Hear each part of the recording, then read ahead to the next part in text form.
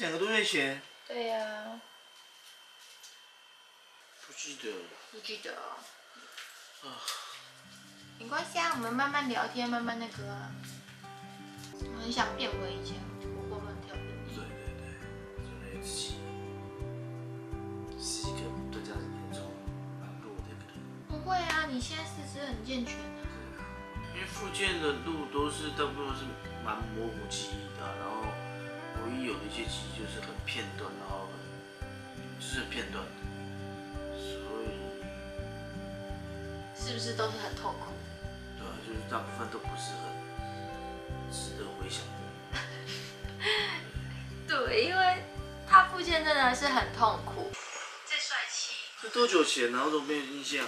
没有印象了哈，快两个月以前，哎，两个多月。两个多月以前，对呀、啊，我在环岛，不是你在环岛，只是我我们在骑脚踏车，然后跟你说你骑脚踏车要骑用力一点才可以环，之后才可以环岛啊。不要跟着古巴去环岛。来，开始。这不是这是哪里呀、这是荣总啊。这两个多月前，对呀、不记得了。不记得哦。啊，没关系啊，我们慢慢聊天，慢慢那个。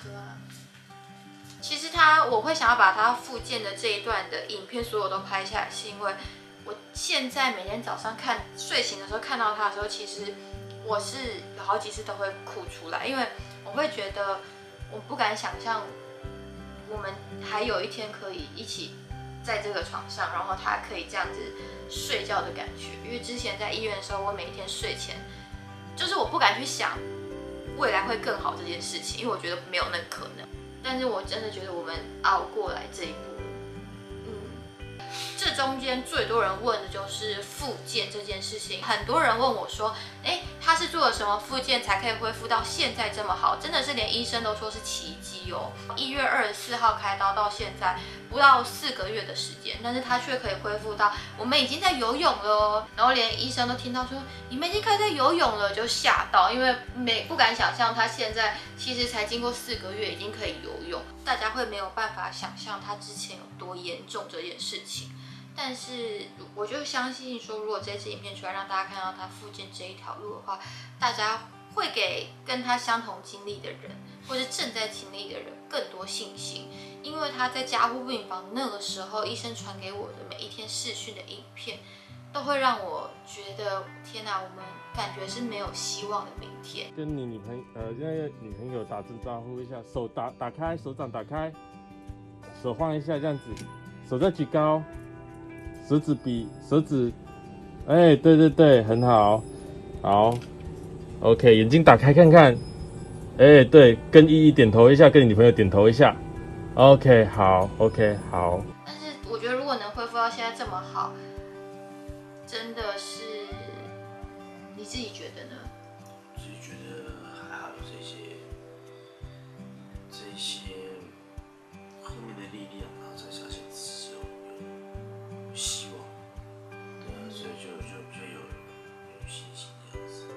是不是有时候我给你看你之前的影片、附件影片，都会吓到，我吓到说，原来我是一个是会动的人，嗯，然后突然变得这么不会动，然后我要努力变成这样子才是真好。原来我我很想变回以前活蹦乱跳的你。对对对，就那个自己是一个对家人严重蛮弱的一个人。不会啊，你现在四肢很健全啊。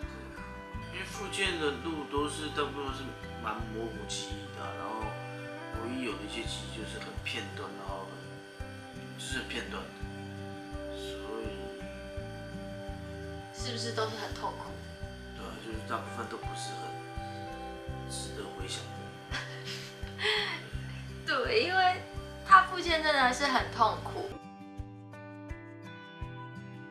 我觉得复健这件事情是，尤其是对中风的人来讲，是一辈子的，因为你中风就是身体有一个不可逆的伤害在了，所以它的复健是，就算你未来你觉得身体恢复的再好，你都要把它当做是复健，就是运动。你要养成一个运动的好习惯。因为其实我有跟一样的病友聊天过，有的女生病友她是她中风完之后，她就很积极的想要回去职场，然后想要回去，例如说学。恢复学业，可他就没有好好复健，他就会有一辈子的后遗症。例如说，他可能手永远举不太起来，有个角度，他可能只能到这样。然后我就觉得复健是一个，像我们现在的话，就把复健当做运动，但我就是陪着他一起运动，让他起码会觉得两个人一起动比一个人动更有力量。这一条路我们真的走得很辛苦，然后是每一天扎扎实实两个人一起经历的。所以我很想给大家鼓励，因为我相信很多，不管是中风还是什么，其实很多疾病都是需要复健。我知道复健的当下，你一定会觉得身体受不了了，然后心很想放弃。但是如果我们的影片可以让你看得出来，从这么不可能的状况，我们可以恢复到现在这么好，相信你一定也可以。希望大家一起加油，拜拜。